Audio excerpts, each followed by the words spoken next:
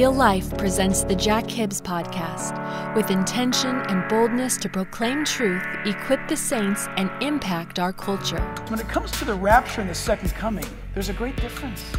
And a lot of people today are saying that there's no difference. Know the difference. Know the difference. You can get the outlines of this podcast by going to jackhibbs.com slash podcast. Today, if this podcast lifts you up and encourages you to live a more fulfilled life in Christ, then make sure you leave us one of those five star ratings. To us, that's like saying amen or yes. Then that rating will encourage others to listen. Now open your hearts to what God's Word has to say to you. Here is Jack Hibbs. I love books, and I have some really old books. And so when I'm reading these great saints of yesteryear, I have books that are two, three, four, five hundred year old authors.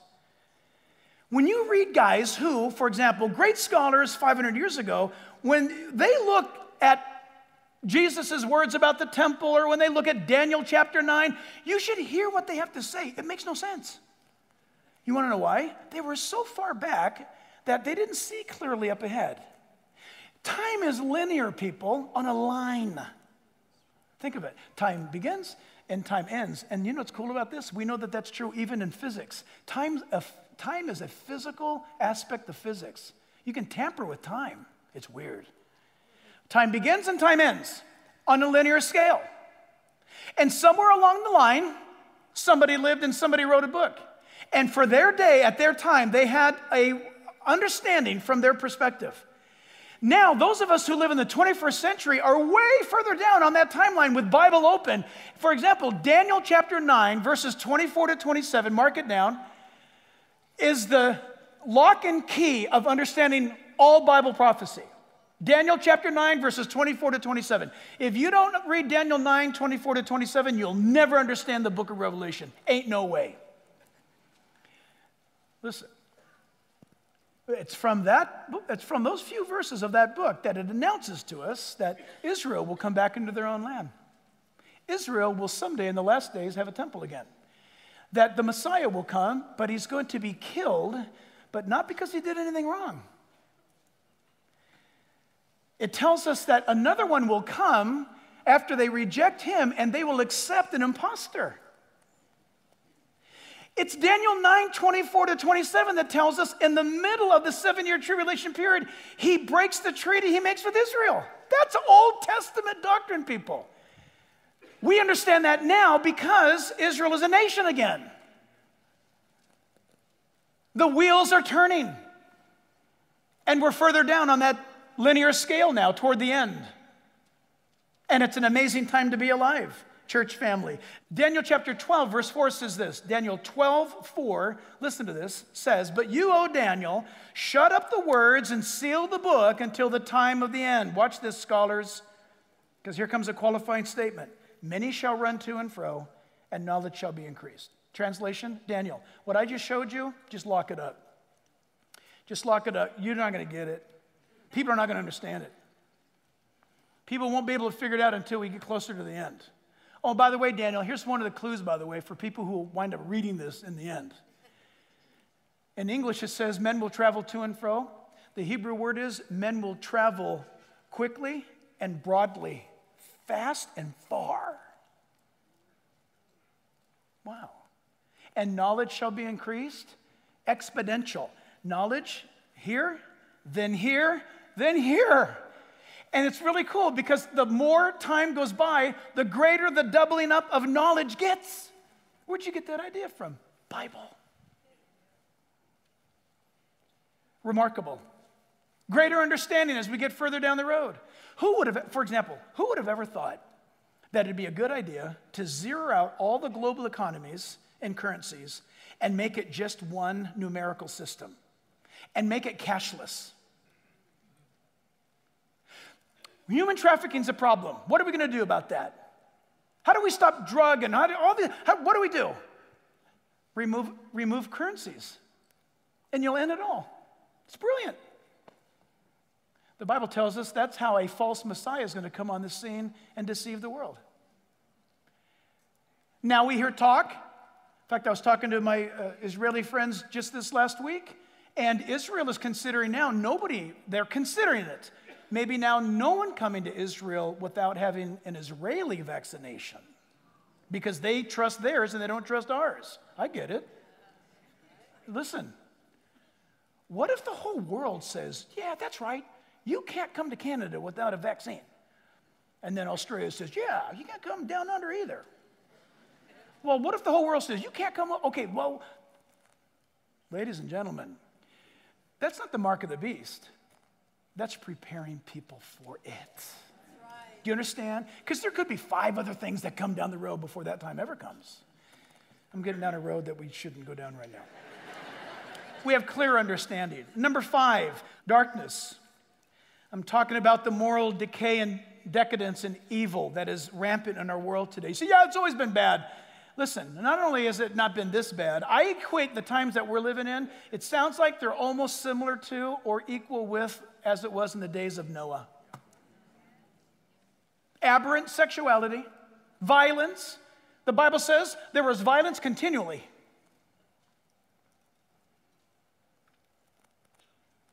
Remember, Jesus said it's going to get worse as we approach those times increasing darkness. I'm sorry to pain you on this beautiful morning, but we won't be here long on this. I am dumbfounded, stupefied of this world's unwillingness to address evil. You, you pick the topic, and those that are supposed to be gatekeepers of truth turn a blind eye. If it's dialing 911 to the Supreme Court, to a parent, turn a blind eye. Shocking.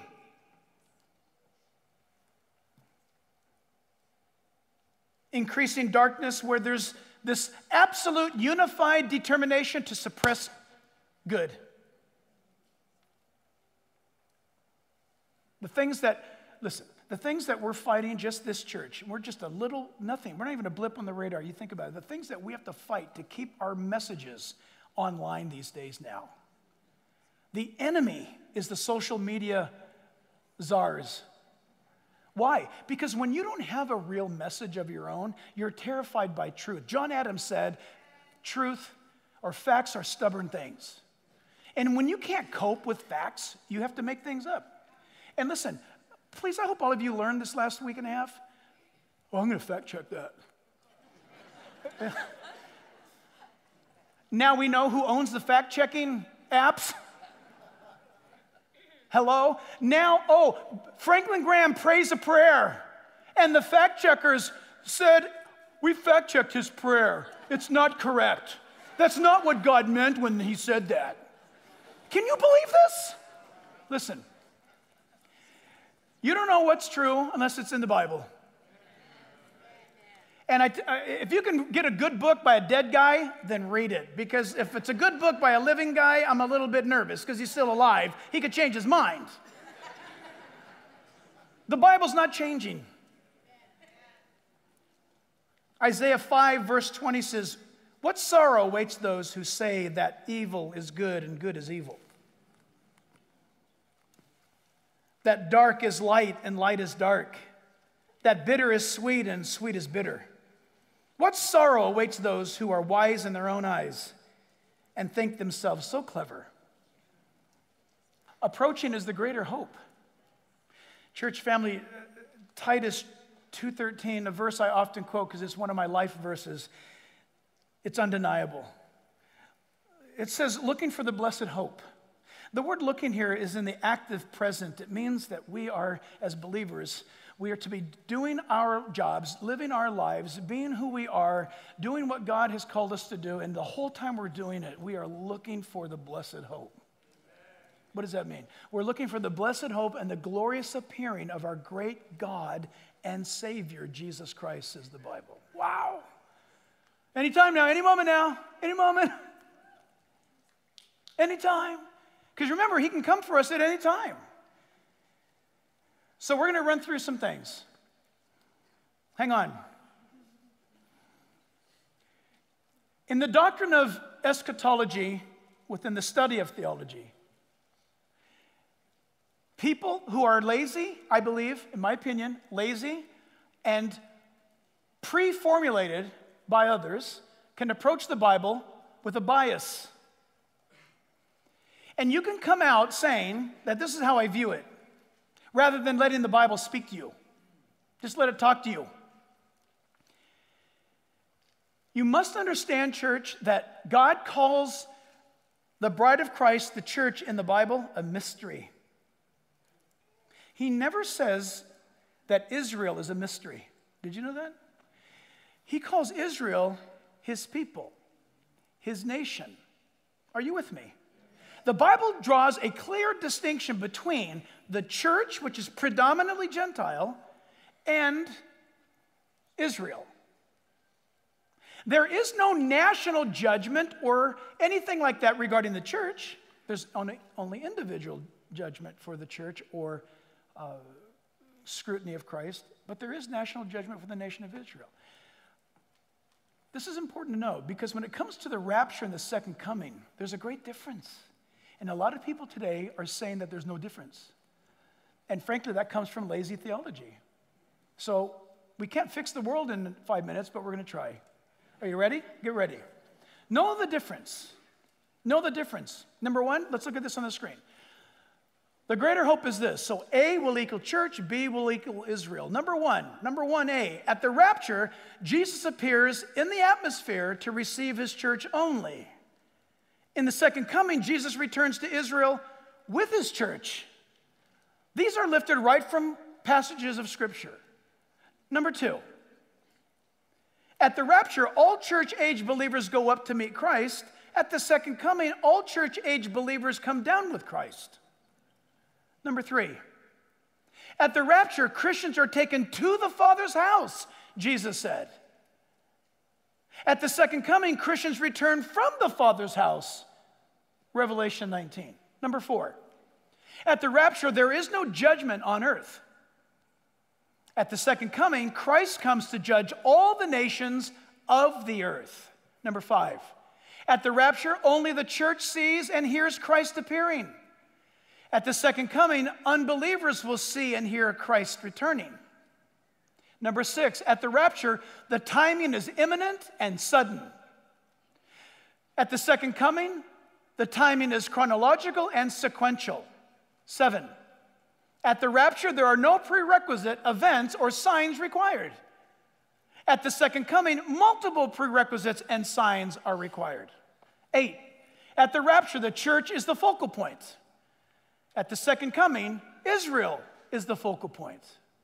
Nine, at the rapture, there is great joy and comfort.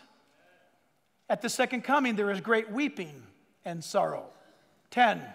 At the rapture, all believers are suddenly changed. At the second coming, no believers are suddenly changed. 11. At the rapture, there is no mention of Satan being bound. At the second coming, Satan is bound for a thousand years, and all God's people said, Amen. 13. Oh, 12.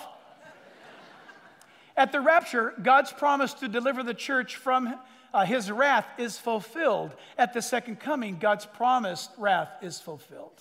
13. The church is taken up to heaven in the rapture and, and judged at the Bema seat. That's the Olympic seat, uh, gold, silver, bronze in heaven. That's the word bema. That's where it comes from, from the Olympics of his of uh, first century. At the second coming, all nations are judged at Jerusalem. The Bible says it has to happen in Jerusalem, according to the book of Joel and Zechariah. No, uh, number 14, at the rapture, the seven year tribulation period begins. At the second coming, the seven year tribulation period ends. 15, at the rapture, there is no marriage feast of the Lamb in heaven at the second coming, there is marriage uh, feast of the Lamb on earth. That is debated by some scholars. I commend you to Dr. John Walvoord on that. It's an amazing study. What's the point? Point is that there's a difference. This is the first time, listen, are you sitting down? This is huge, what I'm about to say. Since 1948, this is the first time the church and Israel has coexisted for the first time in history. That's how close we are. Because God is just about ready to put his eyes back on Israel. That's a remarkable thing. And listen, we do end with this. Approaching is the one matter, or the, one, the, the most important matter of our time today. This is what matters. And it is this that as God looks upon time, the scriptures tell us that whenever we hear the gospel, we are now responsible for it. No matter what I've said prior to this moment, this now becomes the most important thing and the most important thing said. The Bible says that Jesus Christ, according to the Old Testament scriptures, came, born of a virgin, died on a cross for our sins, and rose again from the dead, and left an empty tomb in Jerusalem. Having been resurrected from the dead by his sacrifice, by his offering, his Passover, our sins are forgiven. And the Bible says Jesus Christ said himself, I am the way, the truth, and the life, and no man can come to the Father but through man. He's the only way. This is the most important thing. That you cannot save yourself. You cannot be good enough. The moment you find out how amazing God is, you realize how wretched you are. That's why God gave us the Ten Commandments, because they're perfect and holy and pure. And then when we wake up to the value of them, we realize we broke the first one. well, how many do you need to break before you? Look, poor Moses. Moses comes down the mountain. Moses is carrying the Ten Commandments down the mountain. And poor Joshua, he's standing there waiting. Can you imagine? Looks in the sundial. It's been forever. Moses comes down and Joshua says, Listen, the people are rejoicing. Moses says, They're not rejoicing, they're having an orgy. And Moses throws down the Ten Commandments and then tells them, You people broke these. Think about it. They did. They were breaking it before God probably put his finger in the stone. And it's true for all of us. We wake up to the realization that we're sick. We find out we have cancer. We find out that we've got leukemia. We find out that we've got a problem after we have it. God's word says all of us are SIN positive.